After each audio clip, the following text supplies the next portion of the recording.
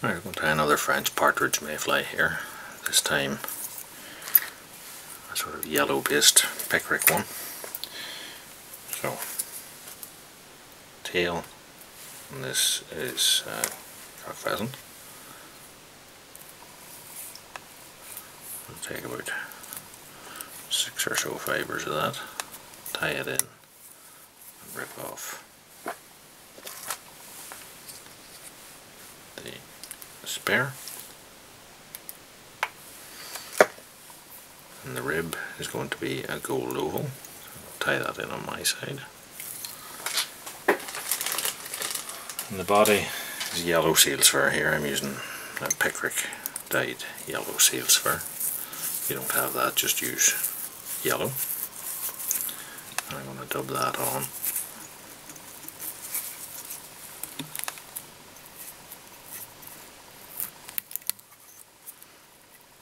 loosely and leave myself room for hackle at the front. So here I'm going to use uh, a Cree hackle that has been dyed in picric. I'm going to palmer that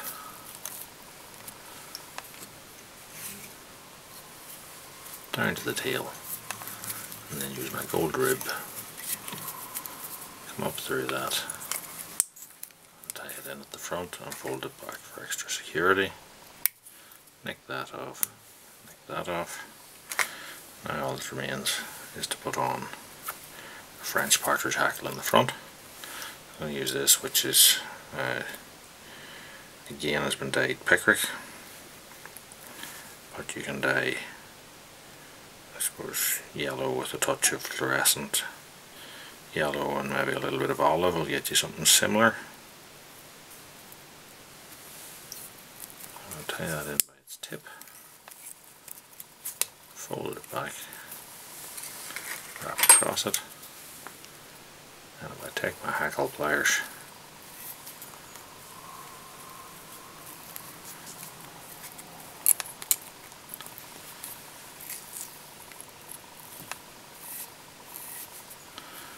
wrap on the French partridge hackle.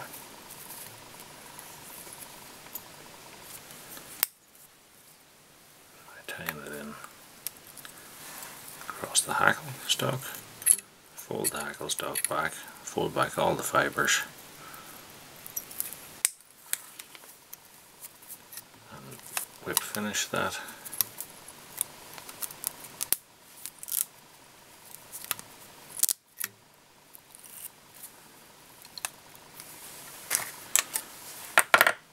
nick that off.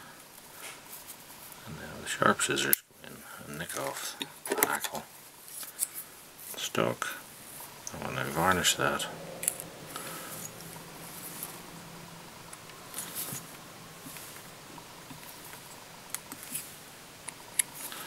Little touch of silver glue or clear varnish.